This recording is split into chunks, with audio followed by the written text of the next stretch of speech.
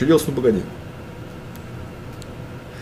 Я могу понять тех людей, которые задают, потому что, наверное, для меня это момент, для этого все-таки еще актуально.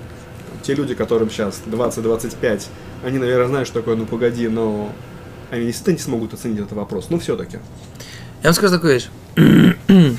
Зачем показывать, ну погоди, вот скажем так, возьмем, разделим этот вопрос на Россию и Израиль. Да? Мне так проще будет отвечать. Вот У меня есть э, мои дети, Баруха Хашем, вот сегодня моему старшему сыну 15 лет. И вот э, для меня очень важно, ва, очень гипер важно, да, э, показать ему то, что я люблю. То есть, например, я с детства увлекался, с детства увлекался авиастроением, да, как, я, как мы, я уже говорил. И мечтал быть летчиком, авиационным инженером и т.д. и т.п. Да? То есть я тоже с небесами сейчас занят, да, у меня небесное занятие. Эм... И мне очень важно, чтобы мои дети понимали, что я люблю.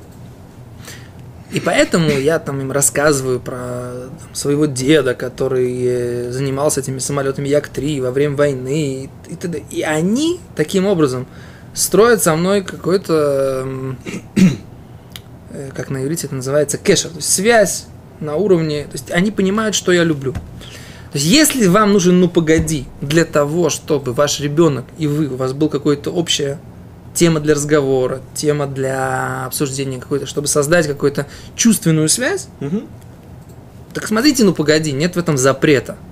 Но если задуматься по поводу «ну погоди», не будем трогать нашего любимого «ну погоди», возьмем Тома Джерри, например, да, то когда мы видим, как там издевается над бедолагой Томом, то если абсолютно, мы хотим... Абсолютно жестокий мультик. Да, так мы, если мы хотим, если мы хотим, чтобы наши дети воспитывались на том, что они в комедии положения смеются над тем, что над каким-то живым существом издеваются, и оно страдает, ему больно и плохо, мне кажется, это не самый лучший материал, на котором мы хотим воспитывать детей.